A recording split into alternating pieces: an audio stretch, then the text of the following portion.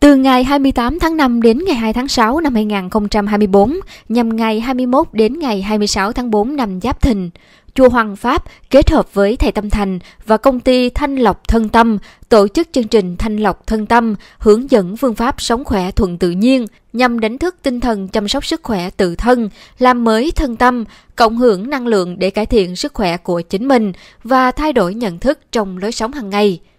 Tối ngày 1 tháng 6 năm 2024 kết khóa, Đại Đức Thích Tâm Trường có đôi lời thăm hỏi sức khỏe đến chư Tăng Ni và quý Phật tử tham gia chương trình. Nghe ban tổ chức chia sẻ rồi, thông qua những cái thông tin hết sức là bổ ích về y khoa, về kiến thức, ẩm thực, à, dinh dưỡng cho mình để mình có thể à, có sự chọn lựa để nuôi dưỡng làm sao cho nó được tốt cho sức khỏe của mình thì đó là điều mà bản thân mình mong mỏi người thân mình mong mỏi và tất cả mọi người ai cũng mong mỏi hết Đồng thời thầy khuyến khích đại chúng nên cố gắng thực tập và thay đổi lối sống, chọn lọc thực phẩm cùng chế độ ăn uống hàng ngày phù hợp để có một sức khỏe tốt. Sau đó các học viên cùng giao lưu, chia sẻ những kết quả thu được sau khóa thanh lọc. Trước khi ra về, mỗi người được quý thầy chùa Hoàng Pháp gửi tặng phần quà Pháp bảo.